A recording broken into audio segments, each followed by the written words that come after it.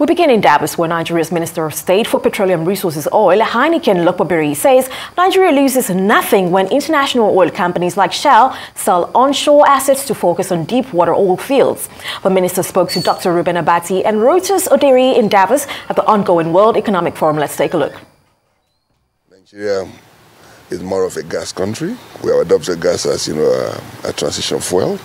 There's tremendous interest in our gas, you know, assets you know, as a country. But the point has to be made that we can't transit at the same time. If you can recall, the UK last year gave over 100 licenses for, you know, fresh or new exploration in the North Sea.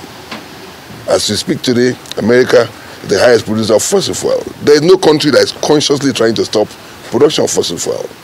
But that is for another day. But my own is that this trip afforded, afforded us the opportunity to interact with a couple of people who have uh, shown interest to invest in cleaner energy, and we have told them that Nigeria is ready for investment. Government will not invest. Government can only, you know, uh, create an enabling environment for businesses, for companies, you know, to come and invest. And so many companies have indicated interest, you know, to come and invest in our gas, you know, um, infrastructure, particularly to supply Europe. Do you want to name some of those companies that have showed interest? Well, we may not necessarily name the companies. I may not about the companies, you know, but a few companies, you know, have indicated interest. And, you know, we, we featured in different panels. Those panels basically have companies and then institutions, financial institutions. Yesterday, if you could recall, in our meeting, you know, um, uh, where the VP also attended, I made mention of uh, the president of, you know, African Finance Corporation, who also attended one of those meetings. And all of them, you know, are thinking about how they can attract funding, you know, um, to Africa, particularly to fund, you know, our own energy transition. But for me, those pledges, promises can't take us anywhere. We need real investment. I mean, I, I recall that, you know, so many countries have been saying they want to, you know, um, they are making pledges, you know, to commit $30 billion, $20 billion. There has been no redemption of those promises. And I know that there's no way we can, as a country, rely on those promises. We want investment in cleaner energy which is gas that we have in abundance. And they're going to show you that so many companies are interested in coming. Honorable Minister, I wanted to ask you about um, comments we took from you earlier in the month where you said that Nigeria could possibly produce as much as 2 million barrels per day of, uh, of oil.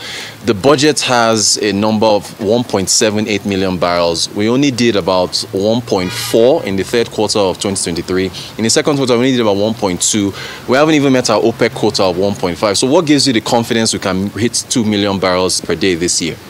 Well, the good thing is that you know OPEC doesn't um, doesn't calculate condensate. Condensate is also, you know, high grade crude. It's even more expensive than, you know, the Bonny Light, the other crude, you know, that we sell. And uh, let me say it categorically that we are doing maybe 1.4, 1.4 something. So if you add the condensate of 350,000, we're already surpassing, uh, you know, a figure that's budgeted in our budget. So we have no difficulty, in know, meeting what is contained in our budget. But I also want to say that our temporary inability to produce 2 million barrels of crude has nothing to do with capacity. It's because of, you know, the problems we have with insecurity and our aging, you know, infrastructure. And we're doing whatever we can to attract, you know, investment in that sector. Well, let's talk about Shell, the Shell sale of uh, onshore assets. Now, they talk about possible sale of onshore assets has been on for quite a while. So, what do you think is the strategic interest of Shell at this time? Well, you know, most of the IOCs are more interested in going deep offshore. If you recall, you know, deep offshore is exclusive, you know, um, um, arena for, you know, the IOCs, where it requires you know, tens of billions of dollars. The independents, I mean, those uh, uh, local players may not be able to, you know, um, raise such huge funding. It also comes with less community problems. And so Shell, that has been in Nigeria for, you know, um, as long as you and I can remember, and uh, the other IOCs are more interested in going deep offshore so that they could, um, you know, operate at that level. No company is willing to leave, not even Eni, is willing to leave Nigeria. No country, no company has said that, look, we are leaving Nigeria, you know, totally. But most of them are interested, you know, in um, divesting from, you know, onshore and shallow water, you know, assets because they felt that it's, it's better for them to operate, you know, deep offshore. We lose nothing. I can also tell you today categorically that the local players have also developed so much capacity to an extent that they can acquire these assets, run them professionally, profitably, and so Nigeria doesn't lose anything. In fact, in my opinion, this is another opportunity we have where if these local players, you know, um, when they take over these assets and operate them, have money will stay in our country as opposed to IOC taking their money abroad. But so it's also, it's also an opportunity. We lose nothing in terms of jobs, in terms of accruals to government. We lose nothing. But but isn't it uh, also? You mentioned community issues. Isn't it security and and the oil, you know, vandalism issues that are pushing them off from the shallow shallow areas? And isn't that uh, you know a, a, cause for government to clamp down on those vandalism issues and um, other issues that are pushing them off, you know, to, into deep water? Yes, we government, you know, is not, um, you know. Um, resting at all on his responsibility of trying to, you know, bring criminals to justice. But we, it has to be a multi, you know, pronged approach, and that is why we have, you know, the civilian, you know, security, you know, um, contract that was awarded some years ago, we are also renewing it.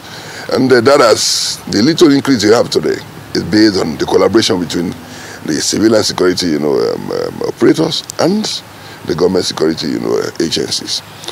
And I can also assure you that, you know, there's a difference between a local operator and as it were, Oyibo operator.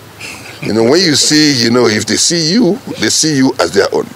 And so I believe that if you look at um, the success we have recorded from, you know, the local companies, which are very strong, you see that they have less community problems. They know how to deal with these communities better, and we are yielding the desired results. NNPC, I just want to really quickly ask. Um, you know, with there was the sale of Mobil assets to Seplat, NNPC had the right of first refusal.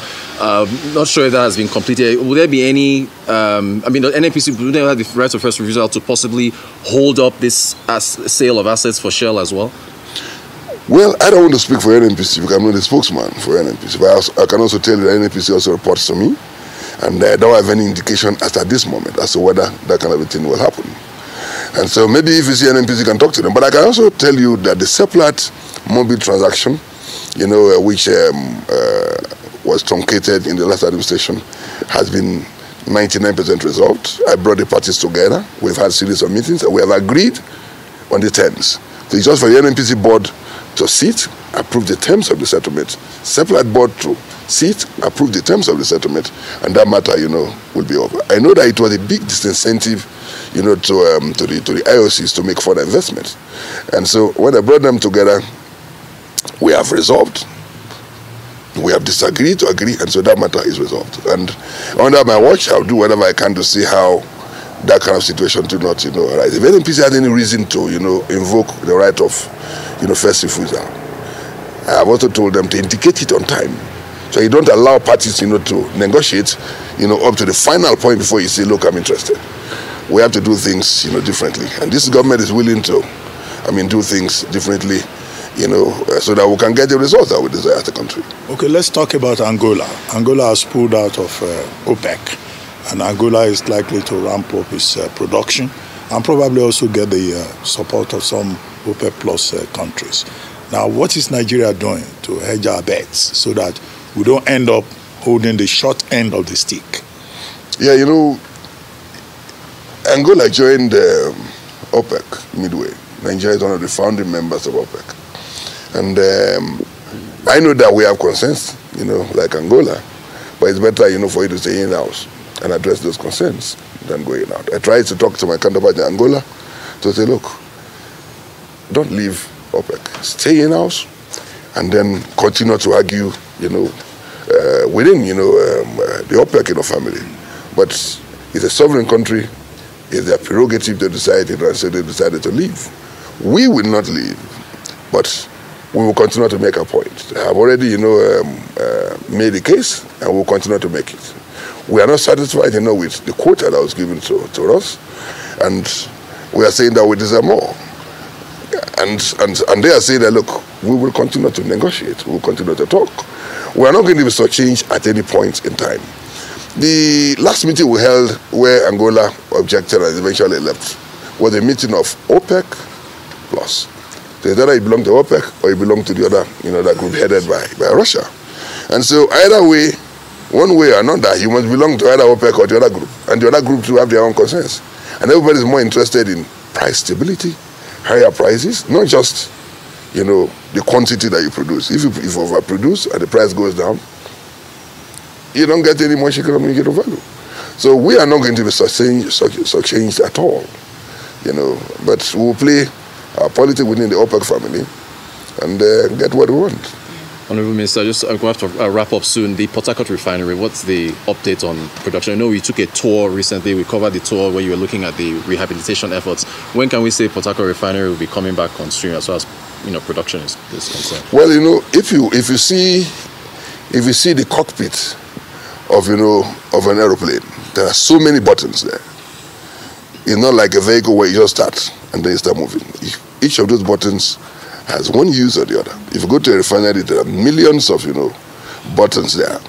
But what I can tell you is that Harcourt has three you know trains, and they say train one, I mean the which they call the area five, is mechanically completed. The flares are up, and so I believe that you know. Um, within a short time. I don't want to give you specific time because I don't want to lie to anybody. So we hold you to that. But, um, but I can assure you that since the mechanical you know, aspect is completed, the train one will soon you know, come on stream. And uh, the, other, the other two trains are still undergoing rehabilitation. And um, I believe that by the end of this year, all of them will come on stream.